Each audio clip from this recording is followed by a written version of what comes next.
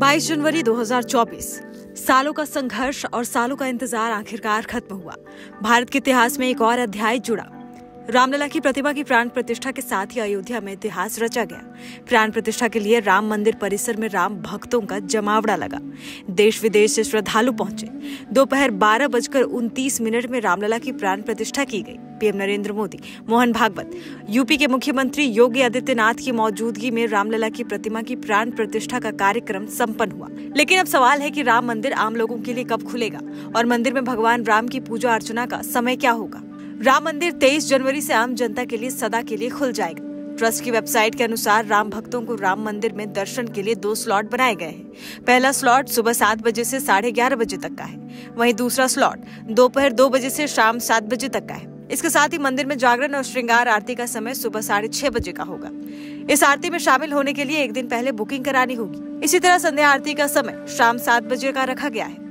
इसकी बुकिंग दर्शन के दिन ही की जा सकती है। ट्रस्ट की वेबसाइट के अनुसार राम मंदिर में आरती के समय दर्शन के लिए पहुँचने वाले श्रद्धालुओं को पास बनवाना ज़रूरी है। इसके लिए कैंप ऑफ़िस में अपनी आईडी देनी होगी। बहुत सुंदर ढंग से हुआ और बहुत समय से प्रधानमंत्री ठीक समय से आए। जैसा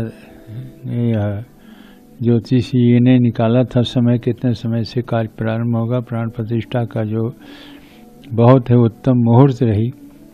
उसी मुहूर्त में प्रधानमंत्री जी पहुँचे और कार्यक्रम जो प्राण प्रतिष्ठा का प्रारंभ हुआ, बड़े शांति ढंग से और विध विधान से रामलला की प्राण प्रतिष्ठा प्राण प्रतिष्ठा संपन्न हो गई है।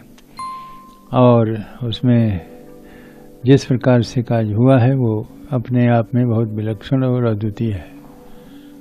क्योंकि भगवान राम को इस प्राण प्रतिष्ठा में जो लोगों का स्नेह मिला, इतना जनता, इतने भक्त उबड़ पड़े हैं पूरे अयोध्या में, जिसकी गणना किया नहीं जा सकता है। इसलिए इससे पता पता चलता है कि राम भक्तों में श्रद्धा और विश्वास कितना है। वह इसी प्राण प्रतिष्ठा के अवसर पर जिस प्रकार से लोग आए और आने के बाद में उन्होंने सहयोग दिया और संत संतों ने भी बहुत से संत यहाँ आए और सबका दर्शन जो है कल से शुरू होगा।